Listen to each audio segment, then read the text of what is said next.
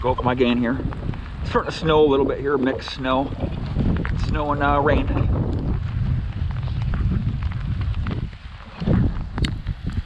Hit out some jewelry here or something.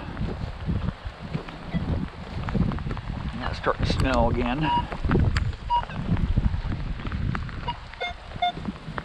Come on, baby. We already hit on a lot of coins here. We're just trying to clean up a little bit. Clean up top a little bit. It's getting a lot of pulsing. Pulsing there? I'm not running hot either. I'm only at 19 gain here.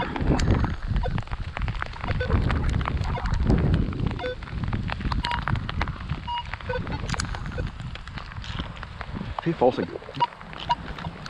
It's pulsing.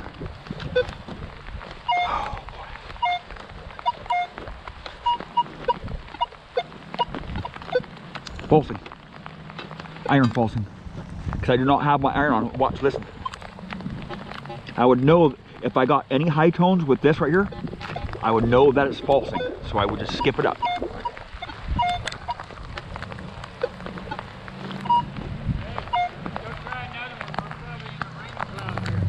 Okay, doke. Let's get out of here. We've already hunted this tot lot for about 20 minutes.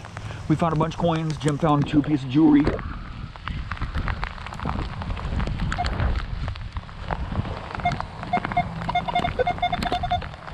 There.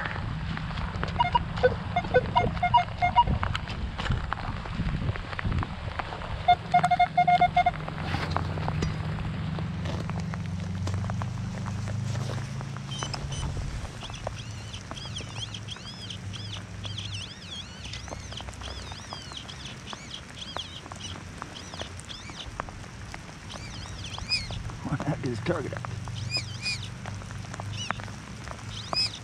That's cool.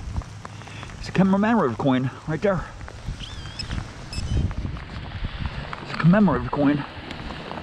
I can't see anything because my um, glass are kind of fogged up right now. It's a commemorative coin, one of those oval coins. It might be for the Evergreen Museum. I'm not too far away from the Evergreen. It's the Oregon Coast Aquarium.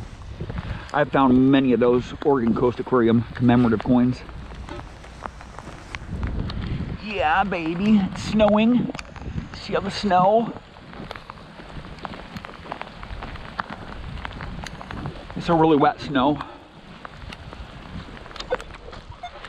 I don't know if you'll be able to see it on, on my arm there when they land, but it's snow.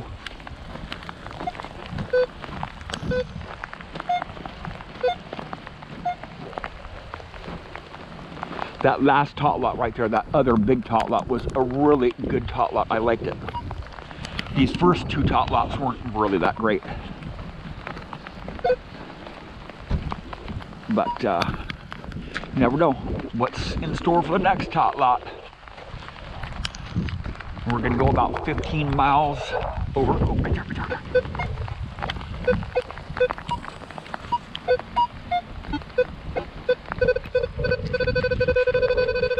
A key right there.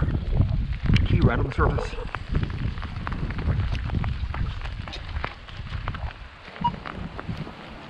Wow. Key right on the surface, man.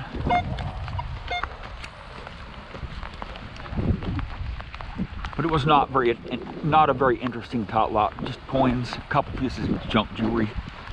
But we're gonna head out to the next tot lot. Hope we can get on a ring or something. Thank you for watching.